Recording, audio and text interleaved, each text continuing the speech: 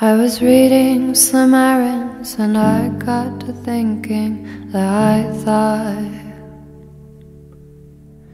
maybe I'd get less stressed if I was tested less like all of these debutantes. Smiling for miles in pink dresses and high heels and white yachts. But I'm. Baby, I'm not.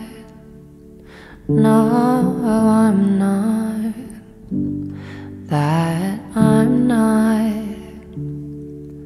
I've been tearing around in my fucking nightgown 24 7 Sylvia Plath. Writing in blood on my walls, cause the ink in my pen don't work in my notepad. Don't ask if I'm happy, you know that I'm not. But at best I can say I'm not sad. Cause hope is a dangerous thing for a woman like me to have. Hope is a dangerous thing for a woman like me to have.